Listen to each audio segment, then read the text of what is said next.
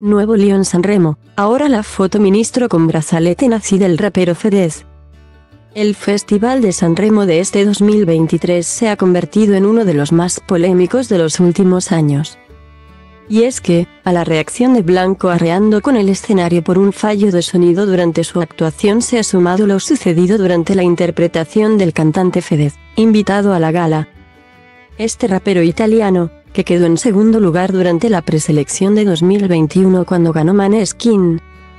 Regresó a San Remo para interpretar un nuevo tema y sumarse al carro del morbo televisivo al compartir escenario con Chiara Ferragni, con quien está casado, que es una de las presentadoras del formato.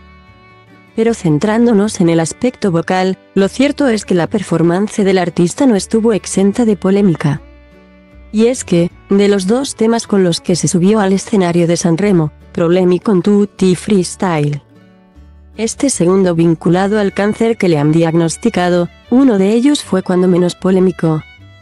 En concreto, el segundo, ya que en la letra de esta canción de Fedez también se encuentra una crítica al ministro Gelazzo Bignami sobre quien dejó una imagen icónica en el programa al desplegar una fotografía del responsable de la cartera Infraestructuras con un brazalete nazi. Cabe destacar que las letras de este artista son tradicionalmente directas, de tal forma que no era extraño encontrarse con referencias que podrían malinterpretarse. No obstante, los telespectadores de la preselección italiana no esperaban esto. Quizás sea mejor un viceministro disfrazado de Hitler, alegó en su interpretación. No solo eso.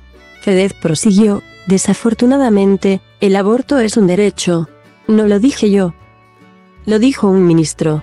Un mensaje, entre otros muchos, que no fue trasladado a los responsables de la cadena italiana. Que hicieron frente a esta referencia como pudieron en el directo. Sin embargo, para entonces, la polémica ya estaba servida.